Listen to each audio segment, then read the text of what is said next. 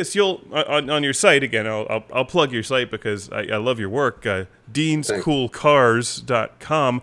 You'll paint to order, uh, and you have a, a wide variety of cars on there. And you actually started the '68 El Camino before we, uh, the classic game room empire, ended up buying our '72 El Camino. I, I know. I, I, I felt I was delighted that you got you. When I saw your unboxing video of the El Camino, I saw, thank God, he's got a great one. The 72 is really the quintessential 70s style El Camino. I also like the 74 and 5 ones, but the 72 is really the last of the powerful, uh, decent horsepower. They still have the classic look of the mm-hmm. 60s and 70s El Caminos, but they reworked the front end on them. I tend um, to actually prefer the 71s. And, uh, I think the, the 70s, or is it 70? The Because they're basically Chevelles that are half truck yeah. is what they are. The El Camino, if you don't know, is essentially a Chevelle with a truck bed on it. And That's why they're so cool. that is why they're cool. They need to make these again. the the El Camino, the Ranchero, the Subaru Brat, and what was the other one? GM, GMC made one, right? Didn't they? Uh, they had one a GMC version called I think it was a Sprint, um, which they had for a while. It kind of mirrored the El Camino from '79 to '83 or so. I think it was in there there was a GMC version of the El Camino, yes, and they also had it in the uh, early 70s too.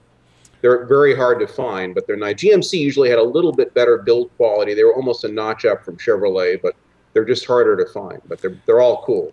My dad is more of the uh, Chevelle expert. He has uh, two Chevelles, and uh, like the like the El Camino idea because now now we have some something to haul to haul equipment around in if if, yes. if we need to move something from one building to another. As you can see, we're in our temporary uh, studio here in space, which is obviously a spaceship.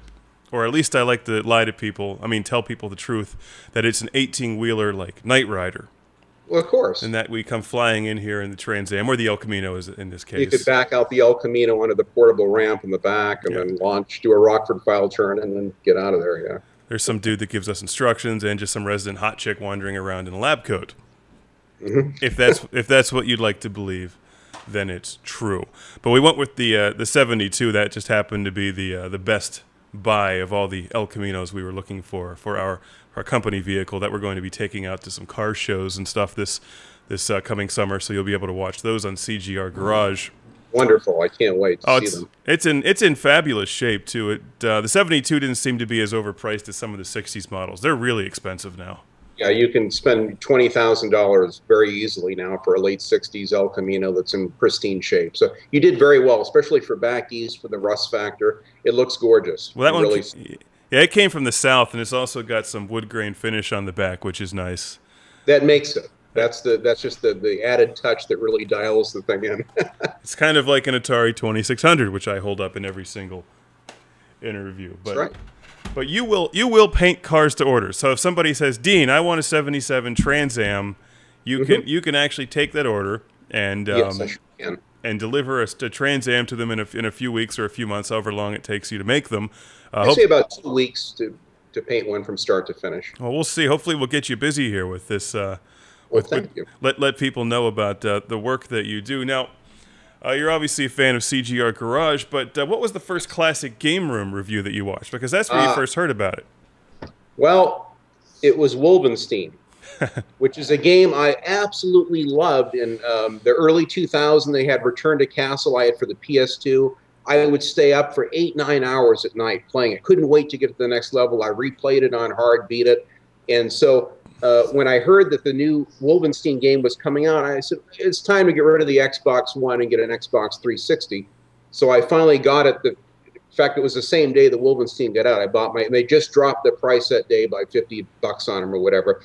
And I love the game. So I went online immediately. I said, well, I'm going to see who else loves the game too. And I got kind of mixed reviews, but pretty much decent reviews.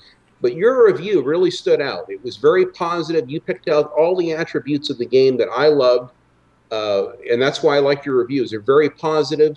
You you have no problem uh, if a game doesn't isn't a great game. You'll you'll pick those points out too. But I like your positivity about the games. Singularity was another review that I liked. I went out and bought Singularity because based on the review that you had shortly after Wolfenstein. So um, your reviews are just awesome. And I said, this guy is he thinks like I do. He's another retro gamer. He's got the same mindset. So I quickly started going through, and I bet I spent probably two weeks going through virtually every video you had, uh, with beer, by the way, I might add. And I'd watch them after work. ah, yes. Well, they are best best enjoyed with a cold beverage of your choice, of They course. sure are. Everybody knows that. whether it's Newcastle or I, IPA. I like a Budweiser once in a while, something kind of basic. But um, but overall, yeah, no, I, I think your reviews are fantastic. Uh, I was excited to see you review other things. So you said I want to start reviewing a CGR. We're going to have a CGR garage. I said, well, this is fantastic. So I, I donated ten games to Classic Game Room, which um, they ended up going to Undertow, and they got some great reviews. They were actually my favorite games, which I had saved. I wouldn't get get rid of them until I until I had the, went ahead and donated them. But uh, I had the original Twisted Metal Road Rash for the PS1.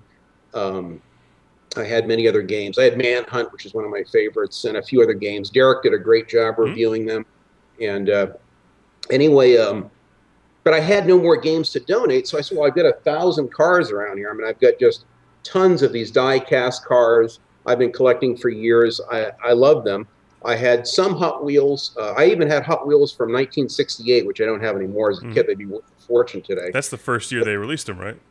Yes, I had. My favorite was, and in fact, I found it on eBay. It's hundred dollars right now, all scratched up, and it's a 1968 um, Eldorado Cadillac, purple. The hood opened up, and it had the red line tires on it. And I, I'll have to get one. I don't care what it costs, but I'll have to get one. But um, but I, I did have some cars. I had these muscle machines, which to me are kind of indicative. They're, as an artist, uh, I like the style of them. They're kind of over exaggerated. Yes. That's a muscle machine. If you've seen CGR Garage, you uh, we've reviewed a lot of these, and every one of them has come from you. Well, thank you. I, I appreciate that. And th- they aren't as popular as the Hot Wheels. And Steve has got some fantastic donations. I love some of the cars that he's donated. Yeah. um, and we chat once in a while on, on Twitter about the different Hot Wheels and collectibles and what have you. But um, I think that uh, the cars are good. And, and when I saw you go to the, the Fort Pitt garage, you did Mhm. some fantastic reviews of each of the cars and they're being restored. And some of the ones, just kind of, you know, incidental videos showing cars and showing them in construction. Uh, it, I got excited. I said, this is something I want to support. So I wanted to donate the cars that I had and um, and I certainly have a lot more, but I don't want to backlog you with, with, with reviews. I know I got quite a few to, to get to, but I'll have plenty more. I got another reservoir of cars here for the next batch if you want me to send them. Like I told, Uh, like I told Mohammed, I think we're I'm backlogged on uh, game review donations for for years, possibly a decade, because uh, because so many people like yourself and all the other all the other supporters of the show just flooded us, Yes, flooded us with some awesome games. I mean, it, and there we have uh, we have a room filled with games. Some of them are back there. That's actually a small percentage of yes. uh, of the collection. Although my entire Intellivision collection is back there, I'm proud to say. I still don't have a Oh, working Intellivision. I love your 2600 collection too.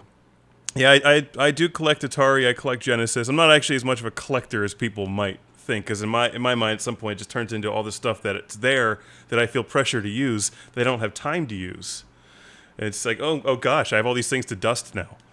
So I, I, I try to actually keep a keep a condensed collection to, to things I use. But of course, with the show, as we're Sure. uh, as we are hopefully embarking on a larger studio set, uh, then then a collection makes sense. So people who have donated things will see it in the background as we're going to see your El Camino, and uh, we see Wind Squid and all kinds of cool stuff like Unicron back there that Mohammed sent, and all kinds of other great stuff from other from other viewers. But I'm, I'm glad to hear you enjoyed the uh, Wolfenstein review and uh, Singularity because uh, for whatever reason, maybe just because they weren't, you know, the, the popular multiplayer games at the time, th- those two games in particular just didn't seem to get as um, as, as as positive a response as I thought they should have, because they were gr- they were good single player experiences that were just kind of twisted and slightly out of the ordinary, but still, ve- but both very playable.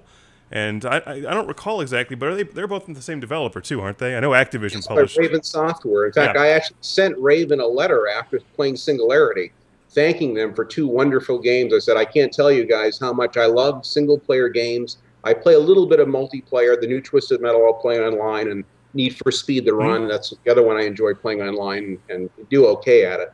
Uh, but I, like you, I love the single player experience late at night with a beer. with at Vinnie Corleone next to me. it's fun, and I love the sci-fi genre shooter where it kind of crosses over. That's why I like the Wolfenstein, and mm-hmm. of course, I love the original Return to Castle Wolfenstein yep. was fantastic. I'd love to see a HD reboot of that, by the way. Um, but uh, you know, for the most part, everyone likes a Call of Duty. Now, I had never played a Call of Duty until I saw your reviews of Call of Duty Classic, Call of Duty 2, 3, and 4. And uh, that's when I went out and I instantly bought all of them. I went through and played Call of Duty Classic, loved it. Uh, Call of Duty 2 is fantastic. Yeah, Great that's actually my favorite one. I think is Call of Duty 2. I, I, think it is too. I have three here. I haven't played it yet, but I've got a, I've got a backlog also of games I'm trying to finish from before. Three is excellent uh, as well.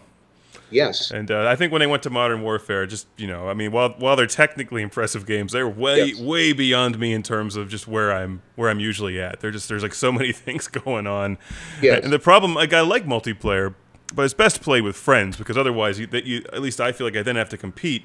But I don't have yes. time. I don't really have time to compete but I don't have so I don't have time to perfect my game. So I end up just getting killed right. instantly by some cruise missile coming out of nowhere. And then Me I just too. then I just get then I just get annoyed, and it's like I don't want to play this. I'd rather play pinball or like play something where I can just play through it leisurely. At, yes. at my own time, like I'm currently enjoying um, both binary domain again. Oh, I saw your review. Uh, love, Binary Domain is awesome. I liked uh, Vanquish a lot too, so that game is. I think they're very similar, and um, also still enjoying uh, Devil Survivor 2 a lot. I mean, these are just games I play on my own, my own time. Not have to worry about how well I do. You can just a go-to single-player experience. Yes. Yeah. and not that I have that much time with to play them, but you know when I do, uh, when I'm not working on them, then those are the, that's my kind of go-to game. Sure.